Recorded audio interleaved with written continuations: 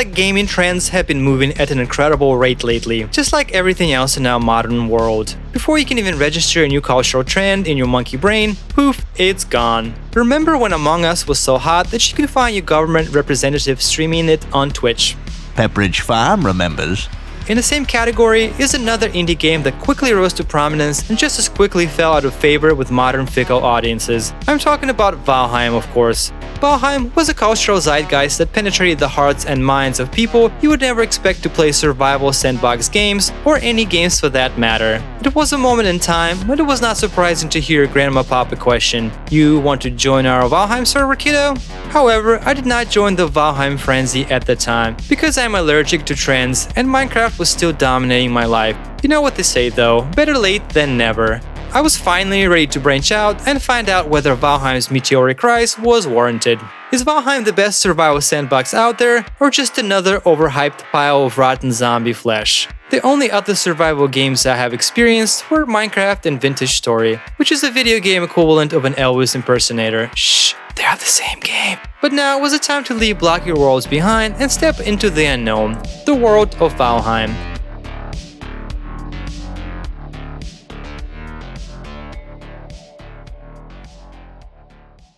The very first thing that the game presents you with is making your character, of course, which I can't help to feel is a mistake. The game zooms in intensely on your character and gives off a strong impression of potato graphics. In retrospect, I really enjoyed the art direction of the game, despite generally low fidelity, and I can't help but to wonder how many people were turned off by this initial screen. Regardless, the game has very few visual customization options for your character and nothing else. Next, you're prompted to create a world. After some text flows through your screen talking about something something Odin, something something Great Warrior, something something too long did not read, the game starts and you are dropped off by a badass bird into the meadows biome. The drop off location is a stone circle with 6 stones for each of the bosses currently available. What follows is the standard affair of collecting some basic resources and crafting your first set of tools and weapons. This allows you to defend yourself from the aggressive creatures and do some basic chores like wood chopping. The boars, the graylings, and the necks provide little resistance provided you have a basic weapon. The caveat is that you need to have some food buffs. The two most important resources in the game are health and stamina, and pretty much all actions cost stamina. Fighting, running, jumping, swimming, you get the picture. The game provides you with baseline health and stamina, but it's a pathetically small amount, and the only way to increase either is through food buffs. Five, six, seven, eight, nine.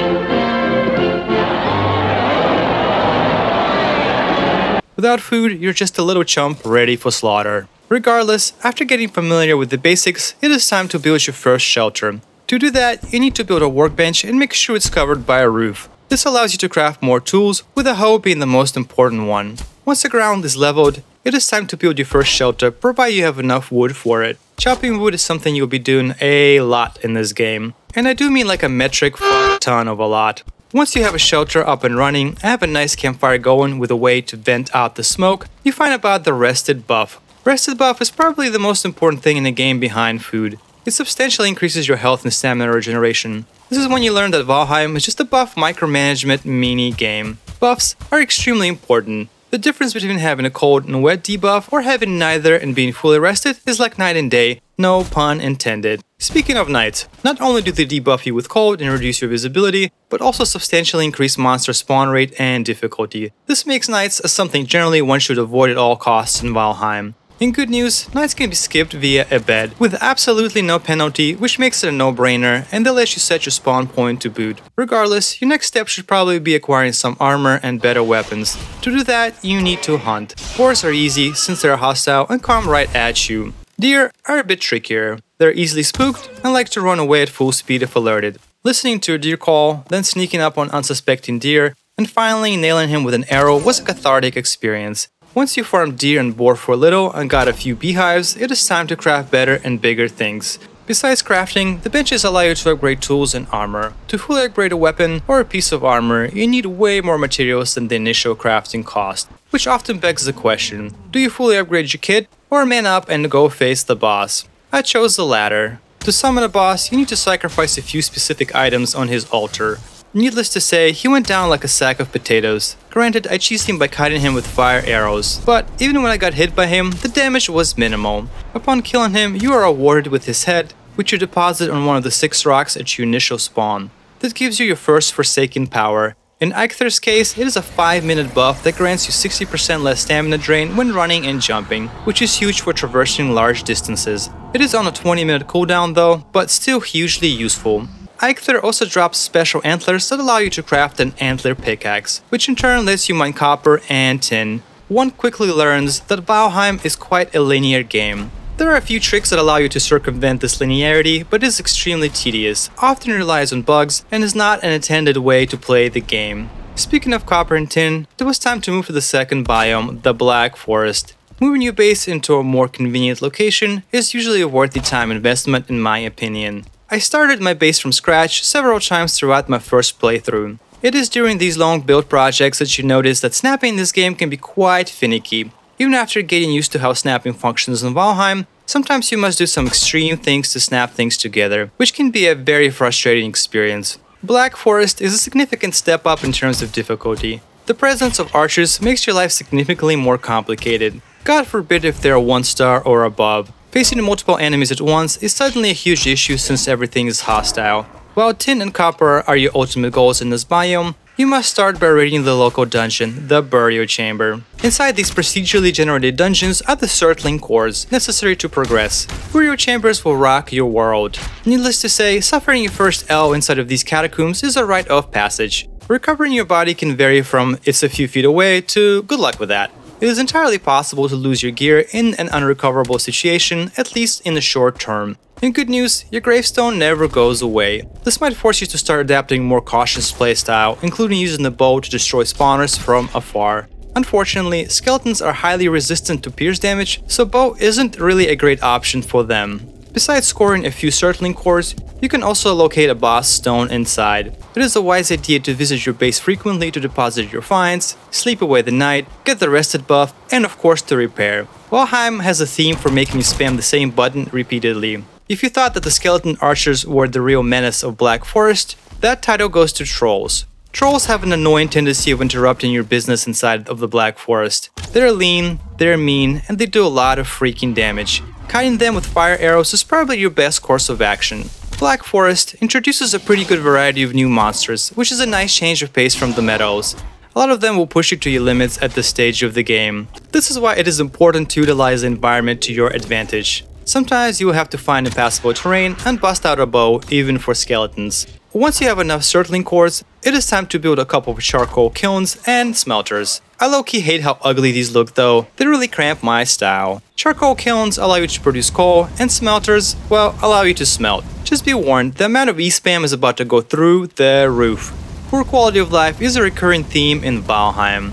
Now that you have a smelter and your first batch of coal, you will need something to smelt of course. Tin is scattered along the shore and you can mine it with your antler pickaxe. Good news is that you don't need an overwhelming amount of tin to progress. What you need an overwhelming amount of is copper. Copper is the second worst grind of Valheim. You need an absolute boatload of copper, and copper, like other metals, is extremely heavy. You will be doing a lot of running back and forth. Once you're back, don't forget to load up your smelters. Now that you smelted some tin and some copper, you can craft bronze. One needs to combine two copper bars and one tin bar, which makes, drumroll, one bronze bar. Wait, who came up with that number?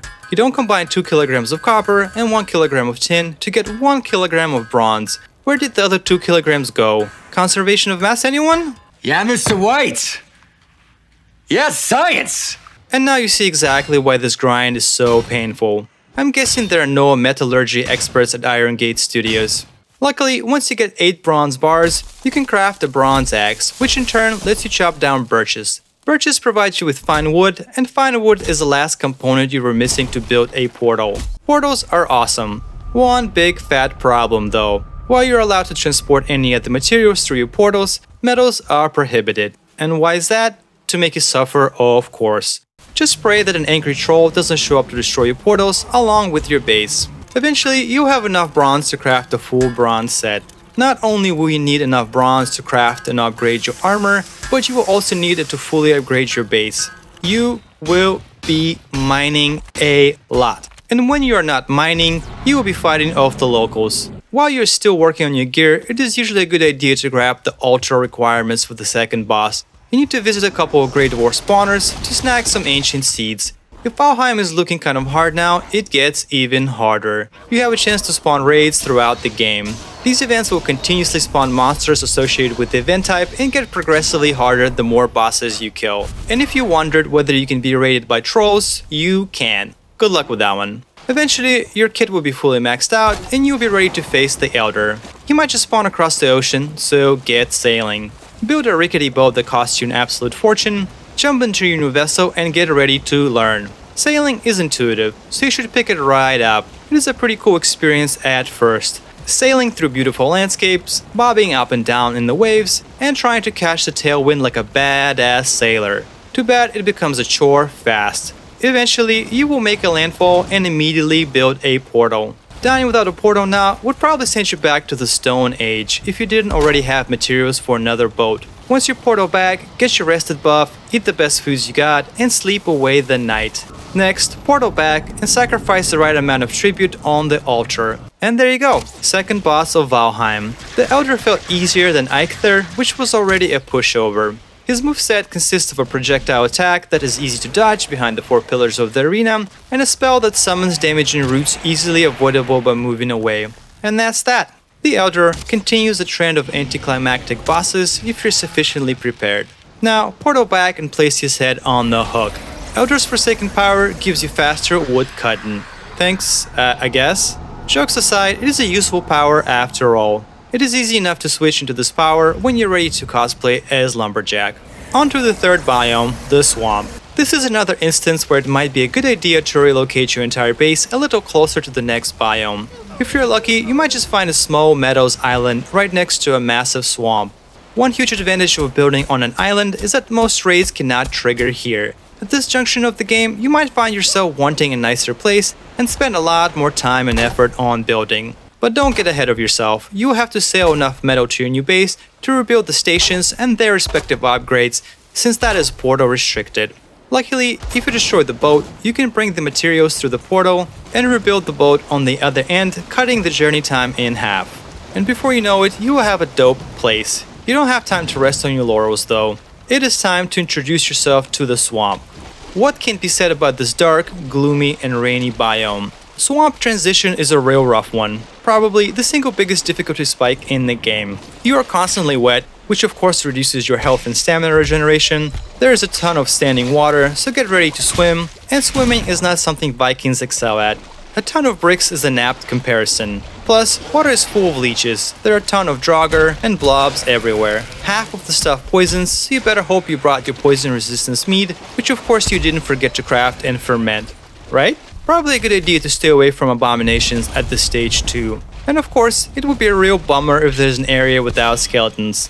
Needless to say, there's no shame in dying in the swamp. It's part of the course. Swamp is where you need to step up your game and leverage every single advantage.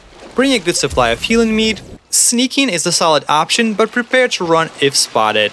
Try to take down draugr and skeleton spawners scattered all around, preferably from range. Use your hoe to create safe pathing for kiting and retreat.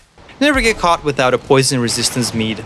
And of course, always have a safe portal location, preferably on the edge of the swamp in a different biome. If you follow these instructions, sooner or later you'll find yourself at a sunken crypt. It is a safe place for a little mini camp with a portal. Once you're done setting up your camp, you can open the crypt with the key that dropped from the Elder. Welcome to your next dungeon. Get familiar. You will be spending a lot of time down here, and I do mean a lot. Iron Grind is by far the longest and the most brutal grind of Valheim. You need a lot of iron for your gear, weapons, infrastructure, and iron stays relevant throughout the entire game. What you're after are the muddy scrap piles that tend to block a lot of the entrances. More often though, they tend to lead into dead ends. When you break these piles down with a pickaxe, they can drop iron scraps, which you can smelt into iron bars. But the biggest piles of iron scraps and other goodies tend to be in random chests scattered throughout the dungeon. Of course, scraps weigh a ton, so periodically run outside and deposit your load in a chest on top of your crypt. It ain't all smooth sailing though. There are draugr spawners here too. And that is a big old pile of bad news. you might start realizing that it's entirely possible to get yourself into a messy predicament in Valheim. One where gear recovery is, uh, how can I put it, complicated. Perhaps it is time to equip your old gear, you kept it around, right? Around this time, it might be a good idea to switch to a tower shield. I end up having the most success with a tower shield, success being uh, a relative term. Right around this time, you might find sneaking to be a worthwhile pursuit in an aid of recovering your body. With a little patience, luck, and a tower shield, you might finally be able to get it back. Of course, crypts don't have infinite resources, so sooner or later you will need to find another one, and that means back to the surface. Did I mention swamps are goddamn hard? But don't give up. Sooner or later you will have a decent cadence. Find a new crypt, mine all the piles, loot all the chests, deposit your finds in the chest above the crypt, and when you have a decent amount, bring them back on your ship. Time to work on your carpal tunnel, but at least it is for a good cause, which is incrementally crafting and upgrading your kit.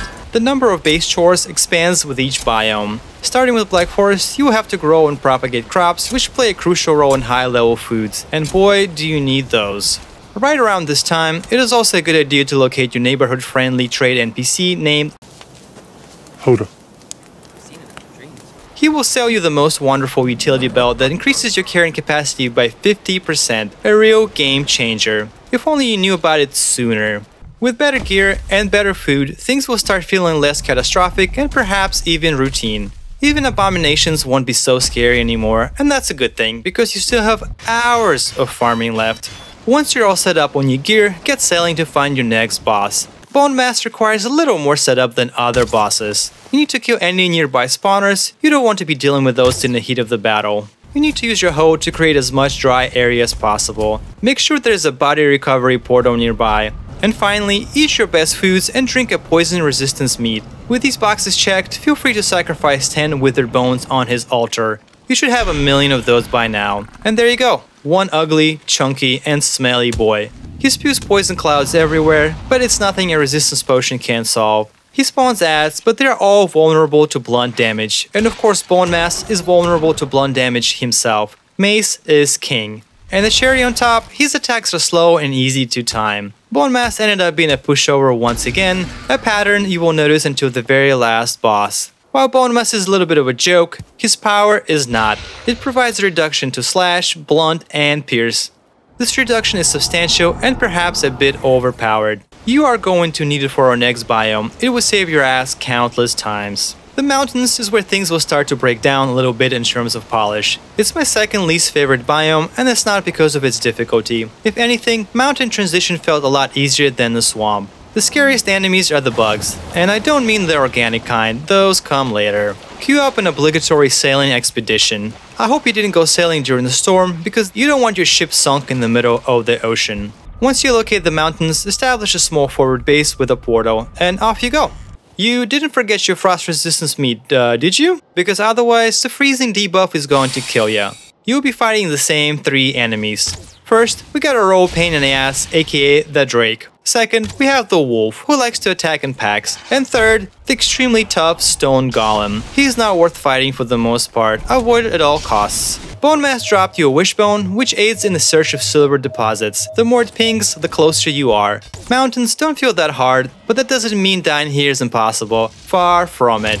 Especially if you forget to reapply your frost resistance mead. Recoveries in the mountains can be tricky. For one, you always need a frost resistance mead on standby or you're not going to make it. Another problem, stamina management. One of the reasons mountains feel so shit. Constantly trying to scale, jump, and sprint through the scraggy terrain drains your stamina like crazy. I know stamina management is the whole point of this place, but it just doesn't feel good to idle when you're trying to get places. Platforming just doesn't feel amazing in Valheim, period. But I digress. Once you find a silver vein, feel free to dig it out fully, and if you did it right, you might just be rewarded with the entire vein collapsing all at once. A very satisfying feeling, I do declare. Remember when I mentioned dying to bugs? Well, here's an example. I would have been hella pissed if I didn't miraculously survive this fall. Regardless, once you have your silver vein collapsed, it is time to run it all back to your forward base and deposit it in the stash. And then of course, repeat the process several more times. Meanwhile, I hope you've been growing your turnips that you got from the swamp. Wait, you didn't? Better go back and get those, or you will be soft locked from progressing your cauldron. You won't get far without those. And now, back to the mountains. Just be wary of stone golems, or you might get chucked down into the abyss. This is where an extra frost resistance meat stashed away in your chest becomes vital. If you don't have one, prepare for bad times. And now, a public service announcement. Outrunning wolves is usually not an option. It might be a good time to hit up your old gear. I hope you learned your lesson and kept it stashed away. Of course, even that won't protect you from the cold. Back to the drawing board you go. Hopefully, you got a good chunk of silver already mined, so load it on your ship. Sometimes it makes sense to just overencumber yourself and slowly trudge your way to your destination while periodically throwing away your inventory to regenerate stamina. Once you're all loaded up, take your ship back to your base, and then get ready to spam that E button. And then craft yourself whatever silver gear you can, preferably starting with the wolf cloak, which makes you immune to freezing. With any luck now, you should be able to get your body back and resume your mission. Just be mindful, where your island base is safe, your forward bases can absolutely get raided. Hope you have your poison resistance meat ready. Now, another complaint about the mountains. In general, Valheim does not do a great job with verticality. Janky platforming, bad pathfinding, or the fact that you must be on uneven ground with the creature you are attacking. Otherwise, your attacks will not register. You can also experience a wolf gangbang while cruising in the mountains. I hope you have your bone mass power ready, or be prepared to be minced meat. In all seriousness, the silver grind isn't half bad compared to iron and copper. Too bad the game never goes back to using silver for anything else ever again. Once your gear up is up to snuff, it is time to sail to kill Moder, the fourth boss. The tribute to Moder is a little bit more complicated. You need to bring 3 dragon eggs to the altar and they weigh a fuck ton, which means you have to bring them one at a time. Moder once again proved to be rather easy. I'm pretty sure mine was bugged. Supposedly, the Ultra spawn location has a drastic effect on his AI. My Moder liked to perch on a mountain and just sit there doing absolutely nothing while getting abused by a barrage of arrows. His Ice Barrage and his Kamehameha Wave are easily dodgeable, and as long as you stay away from his melee range, you are golden. His Forsaken Power, just like Elder's, is extremely situational. It provides tailwind while sailing, which is pretty helpful for long ship voyages, and you're going to need to voyage to your next biome. In a typical fashion, you will probably need to sail to the plains. Disembarking in an easier biome is always a good idea at first. Then, carefully walk to the border of the plains and place your forward base over here. You need to create a large fenced area because plains are all about farming, and you don't want the locals to know what you're up to. Plains is probably my favorite biome of the game. It is open, it is flat, and it has great visibility. The game has taught you that biome transitions are hell, but in plains, everything is kiteable, everything is controllable, and you can dictate the pace. You also have access to awesome weapons with special effects like Frostner. With its knockback effect and a built-in slow, it is a great weapon for controlling large crowds. And controlling large crowds is something you will have to do frequently against the Fulings. Isolating enemies one by one is the name of the game in the plains. Of course, if things get hairy, kiting enemies to a neighboring biome is always an option. Not to say that plains can't give you a run for your money, far from it. Even a humble shaman can wreck your shit if you don't bring a fire resistance meat, and god forbid you get hit by one of the tar slimes without any poison resistance. Luckily, the same slimes can also be abused to kill some of the thickest inhabitants of this biome. You have a lot of options inside the plains in terms of combat, and that is an awesome feeling. That's an escape guarantee. And the best part, black metal simply drops from Fulings and their chests, which means no mining and no repetitive dungeons, a breath of fresh air. Black metal takes a new type of smelter. New smelter, same old E spam. Black metal farm happens too quickly, not something you would expect from Valheim, which is kind of a shame because it is the most fun. Instead of extending the farm for black metal, Valheim developers had this awesome idea of requiring iron for the new armor set. The weapons all take black metal, but the armor takes just plain old iron, which means back to the swamp. At this point, Swamp is a joke, and you have already seen a million sunken crypts. Why Iron Gate? Just why? The other time gate are the crops. You have been keeping up with your farming, right? And if your left finger hurts from spamming E, feel free to use a stack breaker to help you with the harvesting. There are two new crops, barley and flax. Barley goes into a windmill to make flour, and flax goes into a spinning wheel to make linen thread. Linen thread is the second biggest time gate of your plains adventure. Plains is more about farming than interacting with the biome itself, which is a real miss in my eyes. Long after you're done with all other business, you're still waiting on your crops. I spend more time AFKing than actually playing the game. There's also fishing as an alternative to AFKing, and it produces some of the top tier foods. It is a shame then that fishing in Valheim isn't a very chill activity and requires quite a bit of attention, which makes Netflix and chill not really an option. Regardless, you're rocking the best plane's armor and the best plane's weapons, so it is time for the fifth boss. So get on the boat and sail to the nearest boss altar. Yagluth requires 5 Fuling totems, which you might not have at this time, so raiding a nearby Fuling village is an option. Just try not to get cocky and overpull half of the camp with the wrong Forsaken power equipped, or you might have a bad time. Once you have your 5 totems, go ahead and summon the boss. Yagluth is straightforward.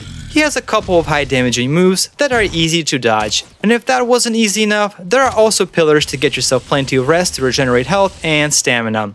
It is a good idea to have a fire resistance mead rolling though. And if you're not habitually packing healing mead, what are you doing with your life? Bone Mass Power doesn't do anything here, most of his damage is magical. Another boss fight, another joke. Speaking of magical damage, Yagluth Power offers resistance to fire, cold, and lightning damage, which can be situationally useful. Regardless, you done did it Viking, just one more boss to go in the last biome. The Mistlands is where I feel a lot of the game's poor design choices are amplified beyond tolerable. I will come out and say it, I hate the Mistlands, by far my least favorite biome of the game. Let's break it down. Mistlands generate far from your initial spawn point, so get ready for a 20 minute sailing session. This is where Moder's Tailwind power is hella useful. And you better hope you brought some black metal with you, or you will be soft locked out of the progression, so get ready for another round of sailing. The concept of this biome revolves around a mysterious mist. This mist is a permanent fixture, limiting visibility to almost nothing. You can craft a magical wisp that pushes the mist away around your character, but the range on it is dreadful.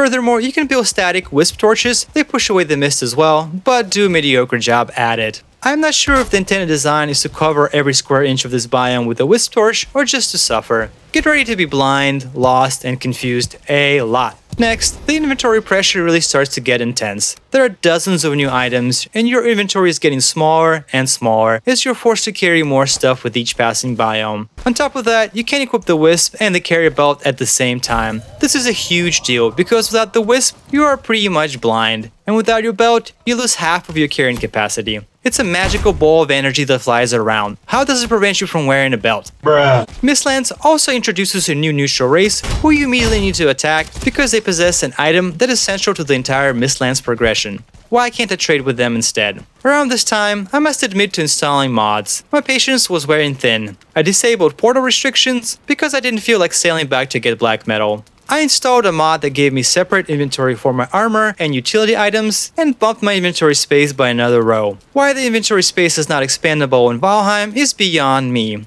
Another mod allowed me to equip the belt and the wisp at the same time. I get really annoyed at trying to micromanage my food buffs, so I installed a mod that removed the magnitude penalty over the food's duration. Following, that let me craft from all nearby chests, which is a total godsend. I was using the clock mod pretty much from the very beginning, knowing the time of day is so crucial in Valheim and there's no real way to track the time at the moment. At this point in time, I felt like I knew Valheim well enough to know that I would never play another minute of this game without these mods, even in a brand new playthrough. In good news, the modding community is robust and you can easily customize your experience. Finally, I seriously contemplated installing Mist Be Gone or these Misty Balls. Mist Be Gone removes the mist completely, and these Misty Balls allows you to tweak a wisp's radius for better coverage. I did not end up using either because I wanted to get that dev approved experience, but you better believe that they will be in my rotation if nothing changes about the Mistlands in the future. The mist can fuck right off. It does make the biome a lot more challenging, but getting lost and trying to navigate the verticality of this biome virtually blind is not my idea of fun. Your mileage may vary. To progress in Mistlands, one needs to visit the local dungeon, the Infested Mine, easily the best part of Mistlands. It is the most diverse dungeon of the game. The point of the dungeon is twofold. Black cores get pretty much every single crafted station that allows you to produce Mistlands level gear. Furthermore, Sealbreaker fragments allow you to craft an item which unlocks a door to the last boss. The other piece of the progression puzzle is the sap one can extract from the magical roots. Once you have both, you can build an Eitr refinery. Good luck finding a place for it though. The urban sprawl of your infrastructure gets intense. Every single biome introduces new crafting stations and other crap that is necessary for the progression. Your base will be stuffed to the brim. Look, this place is not all bad. Mistlands are gorgeous. In those rare mist-free areas, you can really appreciate the art direction of this biome. It is epic. I quite dig all the new enemies as well. Iron Gate has clearly put a good amount of effort into this biome. For example, there's a whole new system of magic ripe for exploration. Unfortunately, it requires a complete retooling of your character. Seems a bit weird that magic isn't introduced a little earlier to ease you in. At this point, I wanted to finish the game with my current playstyle and didn't bother with magic, but it's cool to have new options and by all accounts it's very powerful. It's a real shame that Mist ruins the overall experience though. I was so fed up with Mistlands that I ended up not bothering with gear progression at all. I just crafted the seal breaker and whatever else I could with the refined Eitr I had left. It doesn't help that a lot of gear takes iron for some goddamn reason. Not silver, not black metal, the penultimate armor takes iron. Who are the ad wizards who came up with this one? At this point, I just said screwed and went for the last boss. Perhaps my gear wasn't up to snuff, perhaps it is my inexperience with the fight, or the dreadful mist, but the fight took me over an hour to complete. A nice cherry on top of the Mistlands shit pie. I think the expectation for this fight is to spam wisp torches to be able to see. Too bad they get destroyed by the action, so either you continuously replant them or just do with zero visibility. Blocking or parrying the queen seems pointless because her attacks push you far away from her. By the time you cover the gap, she's already in the next swing animation. That leaves dodge rolling. If you weren't dodge rolling before this, better learn quickly. If that wasn't enough, she has a ranged attack, a melee attack, a gap closer, a disengage, and she summons ads. The fight is cool as hell, but the sheer length makes it feel like a slog. In the absence of fog and much slower ad rate, this could have been a more enjoyable experience. The only way I could even kill her is by abusing a small entrance to her lair. This allowed me to take down the ads, regen health and stamina, and wait for the Bonemass power, which helped a lot when it was up. Clearly, I could have done things way cleaner and wore better gear. I don't want to sound like this level of difficulty is a problem, especially because she's the final boss at the moment. There will be other bosses after her, but for now, she's the ultimate test. When she dies, she drops a couple of placeholder items for a future biome. You get to place her head on the stone, and the game basically ends here. I'm tired, boss. So what do I think about Valheim? Look, despite my issues with Mistlands, the overall game is brilliant. Let's talk about the good things. The combat is fun and snappy. There are a variety of weapons, ways to approach combat, and use of the environment to your advantage. The enemies are varied and always keep you on your toes, and each biome has a unique feel to it. The world feels huge with plenty of exploration opportunities and places to go, and the building is robust enough to produce some stunning results, if one chooses to focus on that aspect of course. The game has a ton of content for the money. I spent over 70 hours in my first playthrough and that is trying to rush the game at times. If you take your time and explore everything the game has to offer, there are easily over 100 hours worth of game here. Of course, there are some bad elements here as well. The game is quite linear. You move from biome to biome, boss to boss, crafting tier to crafting tier. There's not a ton of flexibility in the way you can approach the game. You can certainly skip some gear and enter some biomes a little earlier than recommended, but that only goes so far, mostly because progression is intrinsically tied to killing bosses. Valheim is also quite grindy, and this is coming from me. Copper and iron immediately come to mind. However, stuff like wood chopping, smelting metals, and general homesteading are not far behind. There is a relatively new world setting that allows you to turn up the resource rate in the game. I would go as far as to advise new players to play on the 2x setting. It will probably be a better experience. I feel like the Mistlands need a bit of a rework. The current iteration of the mist is just a bit too oppressive for my liking. Lowering the amount of mist, increasing the wisp's radius, or making the wisp torches remove fog completely are some of the ideas floating in my head. Finally, the stamina drain when jumping is a little too punishing. Being in the mountains and the Mistlands really accentuates this issue. You will be spending a lot of time standing still, waiting for stamina to regenerate, and that is no fun. Moving to ugly tier. Oh boy, let's talk about quality of life issues. Why is there no button to fully load a station? Spamming E hundreds of times is tedious and bad for your carpal tunnel. There are no dedicated slots for armor and consumables, making inventory management unnecessarily tedious. Speaking of tedious, each biome introduces dozens of new items with uses all throughout the game, which means dozens of chests and hours of digging through them. The carrying capacity without the belt is just painful. Find me a modern game that has durability and doesn't have a repair all button, I dare you. Yes, there are mods that fix all of that, but the game should respect my time and my wrist health. Please don't go the Bethesda route by letting modders fix your issues. And finally, the bugs. It is frustrating to be constantly forced to find even ground when fighting. Otherwise, you miss every attack, and whether you're above or below doesn't seem to matter. Next, it is probably a good idea to fix your boss AI. Killing Moder without him fighting back sours the experience. There is the weird shot out of the cannon bug. You might think it was a one-off, but it happened many times. I don't think I ever died to it, but I certainly came very close. This is an early access title, technically, so I will let these slide, but they do not leave a good impression.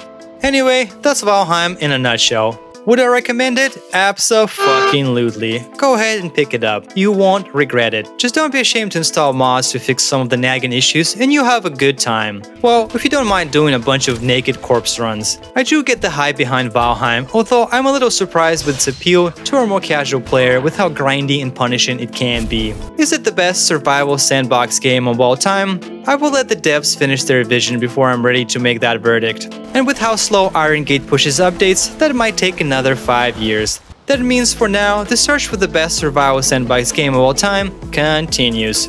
If you're still here, I love you. Don't forget to do all that YouTube stuff. There are plenty of other games to explore in my favorite genre. Do let me know if I'm sleeping on a game in the comments, but for now, Oscillascape is beaming out.